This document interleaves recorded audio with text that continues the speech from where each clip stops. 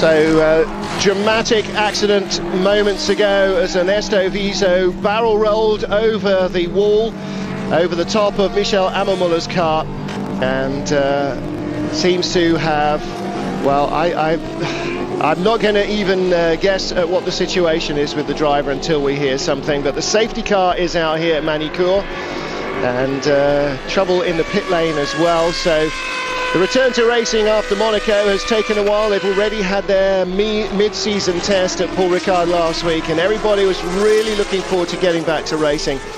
And uh, Gareth Rees this is turning into just a shocking uh, weekend already, yeah. and we're only three laps into the race. Very difficult to see what happened uh, with the Viso accident. I mean, the cars are running so close together at that point on the, on the opening lap. It's very, very, it's a red flag.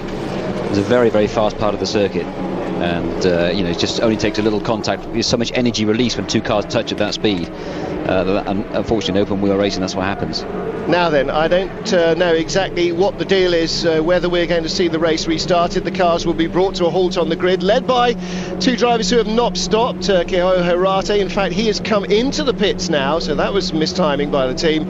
And Karun Chandhok, he is the first man in the queue behind the safety car. It's now going to be shut the engines off, and that, I'm afraid, is not saying great things about the state of Ernesto Viso. Hopefully, with the medical crews there, and of course, this is a Formula One circuit, so Sid Watkins and all the world's best medical attention is going to I be think, uh, invested yeah. in him. So, uh, uh, before we get too too carried away, I think what's what the reason why they stopped the race really is because that exact reason. Sid Watkins yes. and all the other people are busy attending Viso, uh, and really they can't. They really don't need cars. They have to focus on that slowly. exactly. And if exactly. there is another accident, they just can't cope with two big accidents, so they, they stop the racing look after Viso, and then once they're happy, stabilised, then they can they can let the racing start again.